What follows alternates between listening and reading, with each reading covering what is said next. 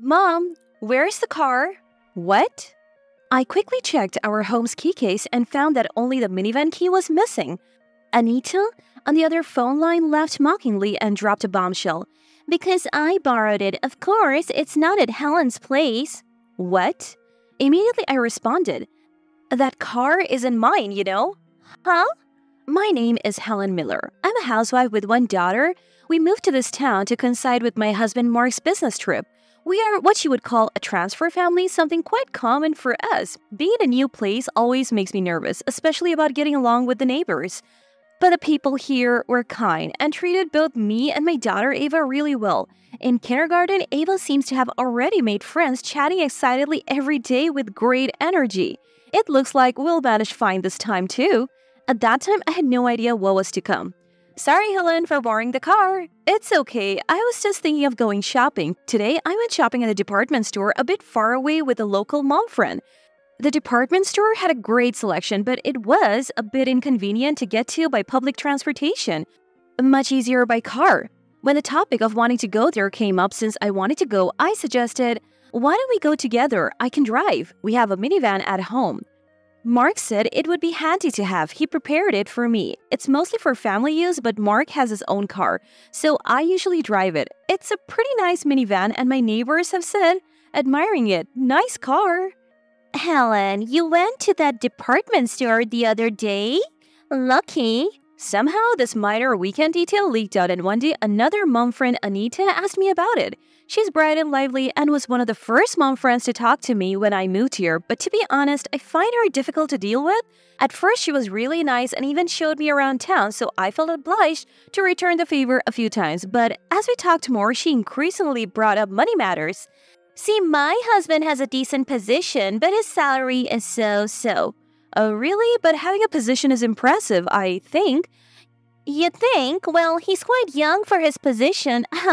oh, and this bag, he got it for our anniversary. Cost like $2,000. Uh, that's nice. He sounds wonderful. What does Helen's husband do? Oh, he's in a specialized field. Wow, that sounds tough. Our conversations often felt like she was looking down on me, and I kept trying to flatter her.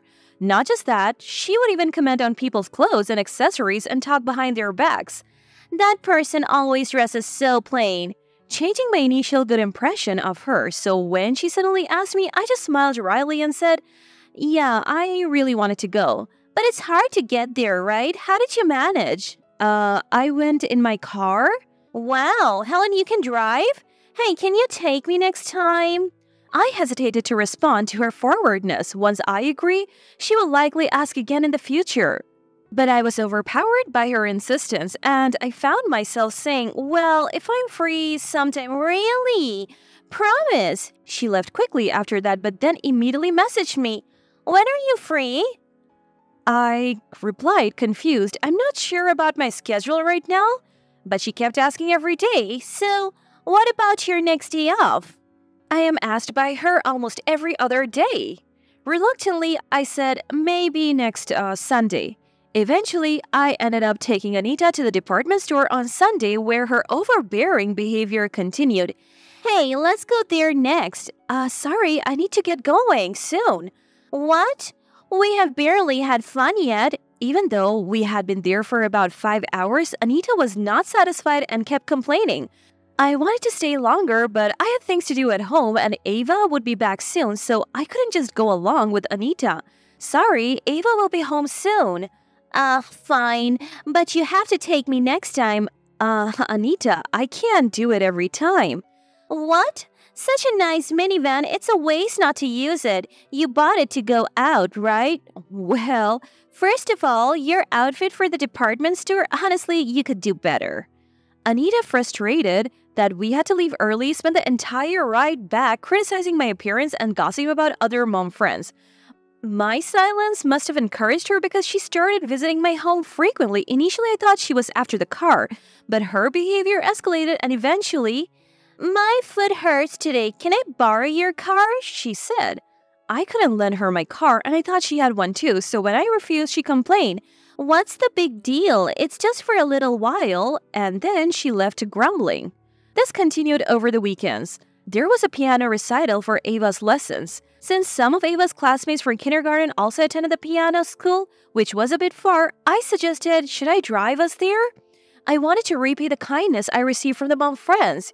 Hearing my offer, they looked surprised and said, Are you sure? You know, uh, not that I believed it, but Anita said that Helen finds it annoying to drive for kindergarten events and only does it because she's asked by mom friends. Really? I didn't believe it, but I thought it might be a burden. Apparently, Anita spread rumors about me not lending my car as retaliation. I explained the situation and apologized if I had made the mom friends uncomfortable. Helen, you don't need to apologize. To which they responded, Really, I don't mind driving everyone. We're all headed to the same places, and I want to get along well. I'm truly sorry. We are sorry too for being swayed by rumors. Thanks for always helping. I was relieved the misunderstanding with the mom friends was resolved, but Anita's actions scared me. If not for this incident, we might have remained distanced. I felt like just a convenient source of a car to Anita. From that day, I kept my distance from Anita, and it seemed the other mom friends did the same, but I had no idea this would escalate into something bigger. Mom, where's the car? Uh, what?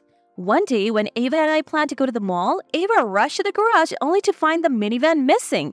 Usually, I would know if Mark took it, as he visits when he leaves the house, but he had been on a business trip for the past few days. When I took the key case, only the minivan key was missing. No way. Feeling a burglary, I immediately called the police. The police arrived quickly and looked into the area's security cameras, but our garage was in a blind spot. They said identifying the thief might take more time. I called Mark, who said, I'll come home right away. Our outing was cancelled, leaving Ava and me disappointed. The next day, a holiday, we decided to bake at home, which cheered Ava up, but I couldn't shake off the anxiety and fear about the stolen car. Then Anita called my phone. I was busy discussing the car situation with Mark. Sorry, Anita, I can't talk right now. Oh, about the minivan? Her sudden knowledge of it startled me. I was hooked. How do you know about that? Over the phone, Anita laughed mockingly and said something shocking. Because I borrowed it, of course it's not at Helen's. Confused and shocked, I managed to ask, What? How could you say that? How did you even get the keys? Then I remembered yesterday's tea party. It wasn't my idea, but Anita's. We had a small gathering of mom friends at my house to discuss a class event. Uh, I need to use the bathroom. I recalled Anita going to the bathroom. She did seem to be gone for a while, but how did she know where the keys were? My mind was too scrambled to think clearly. Was it during yesterday's tea party? yeah, duh. With such an obvious key case, it's like you were asking me to borrow it. I can't believe it. That's theft. Huh? It's your fault for not lending it to me. Anyway, I'm on a trip and won't be back until the weekend, so I'll return it then. That's not okay. But Anita abruptly ended the call, saying, Bye then. I was speechless at the sudden turn of events. Though relieved the car wasn't gone for good, I was stunned that a mom friend would do such a thing. I explained everything to Mark, who said with a wry smile, I really want to understand what kind of morals people have. Yeah, being taken advantage of like this is troublesome. Okay, I'll handle it. Huh? You wouldn't want to ride in a car that's being misused, right? I was thinking of returning it to the company soon, so this works out. The minivan wasn't actually purchased by us. Mark's company is a major one that deals with cars. So they provide them for test driving and use. So while the car wasn't ours, we were allowed to use it. Sort of like an unusual employee benefit, but having someone else use it was theft and posed a risk to the company. So Mark planned to handle it through the company. But will the company get involved for someone unrelated? Normally, uh, no, but this case is special. Uh huh. I was confused by Mark's words, but he just smiled. Don't worry, leave it to me. He said this. We decided to wait until the weekend for the car's return. However, two days before the promised date, Anita called again. Uh, sorry, I had a bit of an accident and the car is totaled. What? I was shocked by her words first. Apparently, she had an accident while traveling? Fortunately, no one else was involved, but Anita had minor injuries. However, the car was severely damaged. Without any remorse, Anita explained, and I asked, You'll compensate for the car, right? Huh? I got hurt and medical expenses are high. It's tough with just my husband's earnings, and you still want compensation? Anita, who started all this by using my car without permission, kept making nonsensical excuses to evade responsibility. She was vague whenever I asked about her treatment costs and the car repairs. When I told Mark about this, she is really hopeless. He sighed. Anita seems to live well. Maybe we should talk to her husband? Oh, don't worry. I'll explain to him tomorrow. Uh huh? Again? Mark smiled confidently. Leave it to me. Trusting Mark, I didn't say anything further. The next day, Anita and her husband Eric came to her house. I'm deeply sorry for my wife's behavior. I've also troubled the division manager, and I apologize. And that's why, if you overlook it, it's all good. You don't seem to have any remorse. Surprisingly, Anita's husband turned out to be a subordinate in Mark's company. Though he held a position as Anita said, Mark was a division manager, a rank above him. The division managers rotate every few years, and by chance, Mark became Anita's husband's superior after a transfer. Once Mark learned that Anita's husband was a subordinate, he tried to make contact at work. Consequently, this whole incident came to light. Anita had been falsely claiming that the accident was my fault. She said she was just a passenger in my car and demanded leniency for that. When Eric learned the truth, he was furious and immediately brought her to apologize to us. We'll definitely compensate for the car. I'm terribly sorry for the trouble caused. I'm not angry at you. It's Anita who needs to apologize. Uh, Anita, lost for words, suddenly became defensive and started shouting. I didn't know Helen's husband was a division manager. You've only recently moved here, right? Don't tell me you're lying. Hey, Anita. Besides, with a minivan like that, Helen must be rich. A little generosity wouldn't hurt, right? I immediately interjected, That car isn't mine. What? That car is provided by our company. It's not ours, it's a special vehicle for the company. What do you mean? Then our family too? It's a part of a special study at my company unrelated to his department. It's the company's car, not ours, so a settlement is out of question. Since you have no intention of compensating, we're thinking of suing through the company. What? Her face turned pale, realizing what that meant. Mark then confronted her. What you did is unmistakably theft. You sneaked into our home, stole the keys, and used the car without permission, even damaging it. That's beyond common sense. We'll discuss this with the superiors and consider the consequences. Wait, oh, what's going to happen to me? Anita clung to Eric, but he, fed up with the whole situation, pushed her away. Anita, I can't deal with this anymore. We'll discuss our future at home. What do you mean, our future? Division manager, Mrs. Miller, I'm truly sorry. We'll compensate for the company car. All right, we'll discuss it at the office later. Eric, dragging a loudly protesting Anita, apologized multiple times as they left. The neighbors, surprised by the commotion, came out and whispered among themselves. Mark, with a wry smile, shared more details. Eric, an excellent subordinate, often expressed his home troubles at company drinks. When I mentioned his name, Mark realized Eric was married to Anita and had been looking for a way to help.